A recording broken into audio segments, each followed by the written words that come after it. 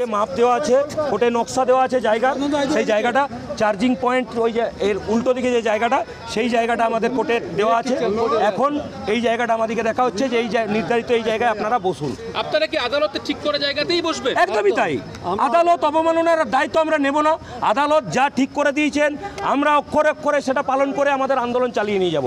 আদালত যে জায়গা আমরা ম্যাপ দিয়েছি সেই জায়গাতেই আমরা বসবো। আদালত নির্ধারিত জায়গায়। না এটা ঠিক জায়গা নয় তো। আমরা যে ম্যাপ দিয়েছি যে জায়গা দেখিয়েছি আমরা এর আগে তো জায়গা দেখে গেছি সেই লোকেশন আমরা দিয়েছি। সেই লোকেশনে পুলিশের কাছে তো কাগজ আছে। ম্যাপ দেওয়া আছে। সেই ম্যাপটা মিলিয়ে দেখুন না। কেন আপনাদেরকে এই জায়গাটা এটা কেন করছে এটা আমরা তো বলতে পারছি না। পুলিশ কেন এরম করছে? কার রাতের থেকে এরম করছে। পুলিশ দিয়ে পাবে কিনা আমি সেটাও বুঝতে পারছি না। ডিএটা তো ওনারাও পাবেন। কেন হ্যারেস করছে? একদম গতকাল রাত থেকে হ্যারেস করা হচ্ছে। নির্দিষ্ট কোন যাবে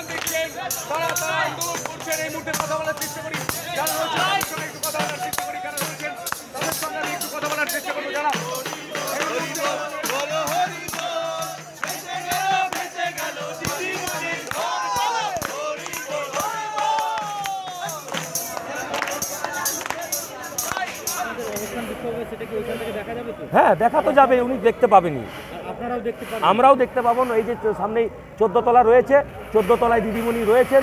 দেখুন বাইরে কর্মচারীরাও দেখছে সব। সবই দেখা যাবে এখানে দেখতে পাচ্ছেন পুলিশের ভূমিকা দেখে? মনে হচ্ছে যেন এখানে একটা সন্ত্রাসবাদী আক্রমণ হয়েছে। চারদিকে পুলিশে পুলিশের ছয় লাভ এত পুলিশের তৎপরতা আমরা কোনো রেপ কেসে দেখি না এত পুলিশের তৎপরতাকে খুন হয়ে গেলে দেখি না। এরা প্রকৃতপক্ষে শাসক দলের রাজনৈতিক আদর্শে কাজ করছে আইন অনুযায়ী কাজ করছে না। সরকারি কর্মচারীদের ডিএর অধিকার ন্যায্য অধিকার ডিভিশন বেঞ্চ বারবার বলেছে। তার এতৎসত্ত্বেও আমাদের রাজ্যের মুখ্যমন্ত্রী তিনি বলছেন এটা অনুদান।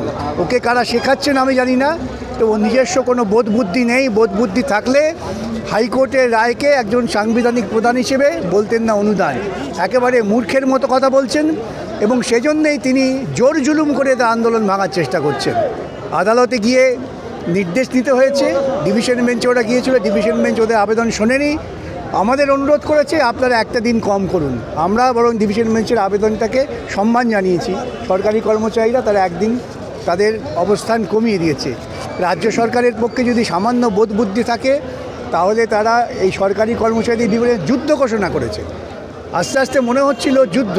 মাঝপথে আমাদের গাড়ি পর্যন্ত পুলিশ আজকে দিচ্ছে চেক করার জন্য। এ কিসের? পুলিশের নিজেদের মধ্যে আতঙ্ক? কিসের নিরাপত্তার ভয়? এরা নিজেরা আতঙ্কে ভুগছেন কেন ওরা অন্যায় করছেন অসাংবিধানিক কাজ করছেন সেই জন্য ভয় পাচ্ছেন না। অনুমতি দিয়ে তারা আন্দোলন করছেন কিন্তু গতকাল রাত থেকে পুলিশ তাদের বসতে দেওয়া নিয়ে যে সুনির্দিষ্ট জায়গা সেখানে টালবাহানা চালিয়ে যাচ্ছে। এ রাজ্যের পুলিশকে ব্যবহার করা হয় বেআইনি কাজ করার জন্য।